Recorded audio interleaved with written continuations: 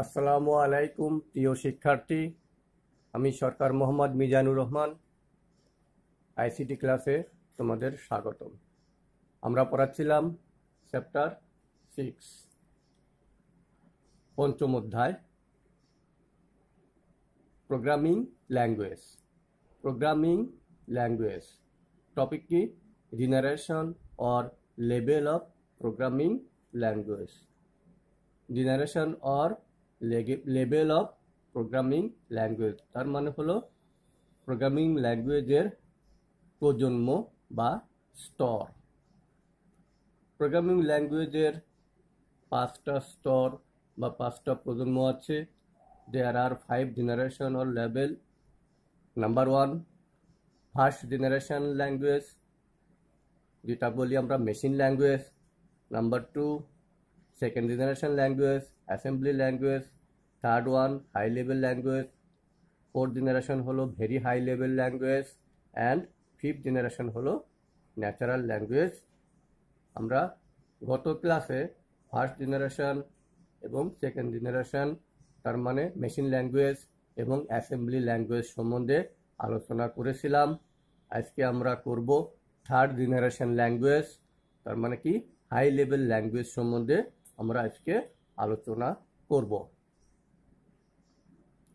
High level language third generation language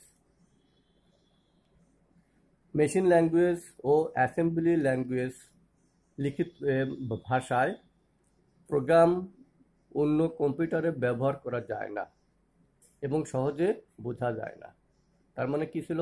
আমরা যে first generation second generation ল্যাঙ্গুয়েজের machine language এবং অ্যাসেম্বলি ল্যাঙ্গুয়েজ পড়েছিলাম, সেই ল্যাঙ্গুয়েজের মাধ্যমে লিখিত ভাষায় কোনো প্রোগ্রাম লিখলে কম্পিউটার ব্যবহারের জন্য সহজতর হয়, কিন্তু মানুষ কীভাবে লিখছে সেটা বোঝা কষ্টকর। কারণ কি মেশিন ল্যাঙ্গুয়েজটা হলো বাইনারি ভাষায় লিখিত জিরো এবং ওয়ান দ্বারা, তা সহজেই কম্পিউটার বুঝতে পারে, কিন্তু কোনো প্রোগ্রামার সরাসরি তা বুঝতে হলে তা তাদের জন্য কঠিন হয়ে যায়। এই অসুবিধা দূর করার জন্যই পরবর্তীতে উচ্চ স্তরের ভাষার উদ্ভব হয়।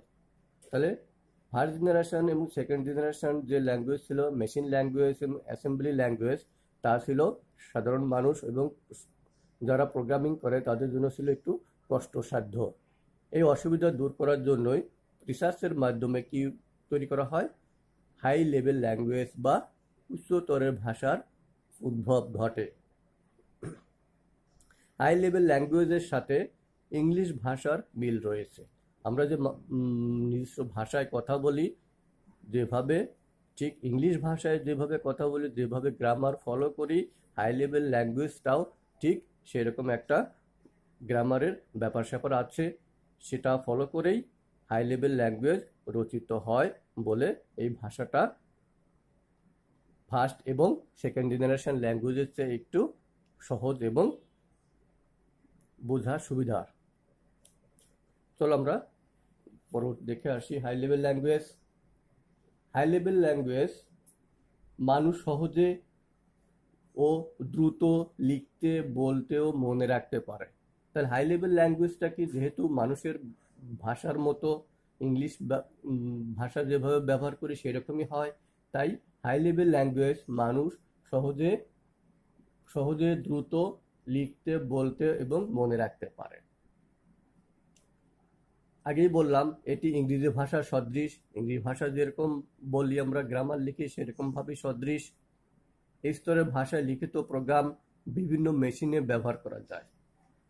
প্রথম এবং দ্বিতীয় স্তরের ভাষার অসুবিধা ছিল কি? যে ওই ভাষায় লিখিত প্রোগ্রাম শুধু যে কম্পিউটারে লেখা হয়, সেই কম্পিউটারেই ব্যবহার করা যেত, অন্য কোনো কম্পিউটারে ব্যবহার করা যেত না। এই অসুবিধা দূর করার জন্য হাই লেভেল ল্যাঙ্গুয়েজ কী করছে? এই ভাষায় বা এই স্তরে লিখিত ভাষায় প্রোগ্রাম যে কোনো মেশিনে, যে কোনো কম্পিউটারে ব্যবহার করা যায়। আরেকটা ব্যাপার, অনুবাদক প্রোগ্রামের সাহায্যে ভাষা প্রোগ্রামকে মেশিন ভাষায় রূপান্তর করা হয়। কারণ আমরা জানি মেশিন ভাষা কি? জিরো এবং ওয়ান বাইনারি সংখ্যা। মেশিন ভাষা জিরো এবং ওয়ানের মাধ্যমে লেখা হয় বলে সরাসরি কম্পিউটার বুঝতে পারে, কিন্তু মানুষ বুঝতে পারে না। কঠিন মানুষ, যারা দক্ষ প্রোগ্রামার তারাই শুধু বুঝতে পারতো, কিন্তু সাধারণ প্রোগ্রামার ভালোভাবে বুঝতে পারতো না। তাই এর জন্য যেহেতু আমরা উচ্চতর ভাষাটা লিখছি জিরো এবং ওয়ান ছাড়া ইংলিশ ভাষায় ইংলিশ ভাষা যেরকমভাবে লেখা হয় সেইভাবেই, তাই এই ভাষাটাকে ইংলিশ ভাষাটাকে কম্পিউটারের ভাষা জিরো এবং ওয়ানে বোঝাতে হলে একটা অনুবাদক বা ট্রান্সলেটর প্রোগ্রামের প্রয়োজন হয়। এই জন্য বলা হচ্ছে, দেখো, অনুবাদ, অনুবাদক প্রোগ্রামের সাহায্যে এই ভাষার প্রোগ্রামকে মেশিন ভাষায় রূপান্তর করতে হয়। মেশিন ভাষা কি জিরো এবং ওয়ানে রূপান্তর করতে হয়। তার জন্য কি লাগে? অনুবাদক প্রোগ্রাম বা ট্রান্সলেটর লাগে। উচ্চতরের ভাষা উদাহরণ, যেমন QBasic Pascal C C plus plus Java ইত্যাদি। জাভা ইত্যাদি হলো হাই লেভেল ল্যাঙ্গুয়েজ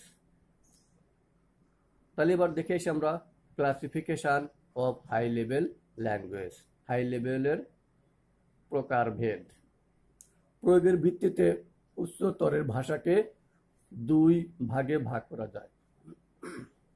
কয়ভাবে ভাগ করা যায়? উচ্চ স্তরের বা হাই লেভেল ভাষাকে দুই স্তরে ভাগ করা যায়।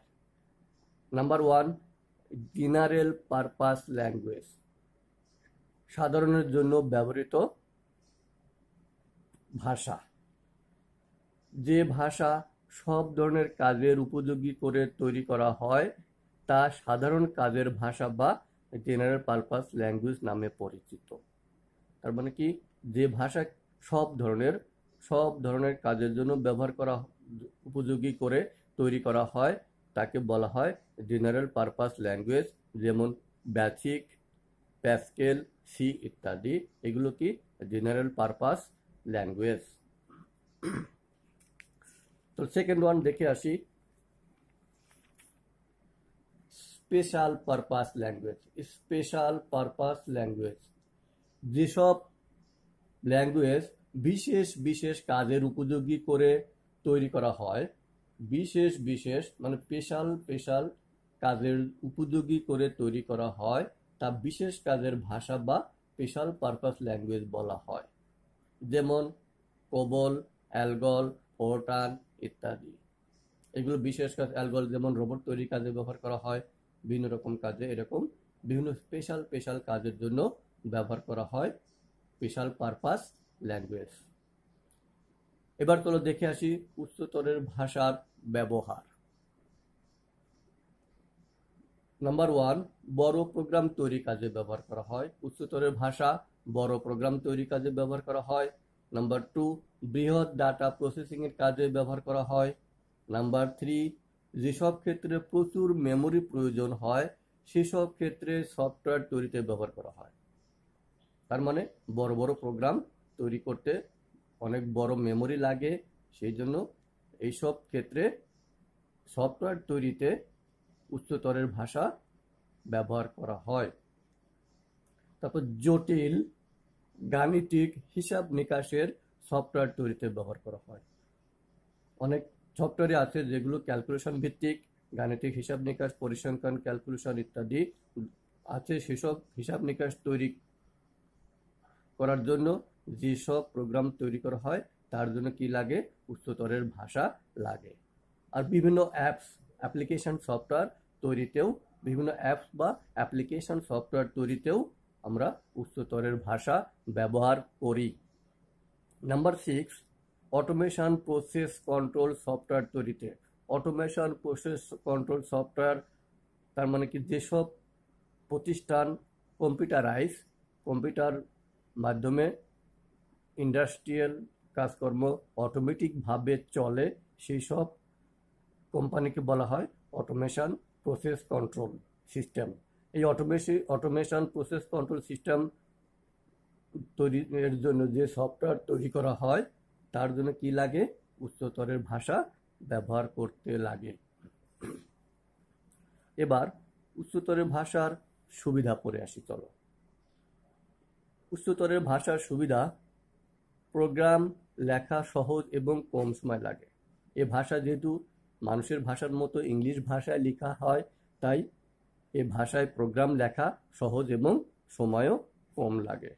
নাম্বার টু, ভুল হওয়ার সম্ভাবনা কম থাকে এবং প্রোগ্রামের ত্রুটি সংশোধন করা যায়। যদিও ভুল হওয়ার সম্ভাবনা কম থাকে, ভুল হলেও আমরা কি করতে পারি? সেটাকে আমরা সংশোধন করতে পারি, সহজেই সংশোধন করতে পারি।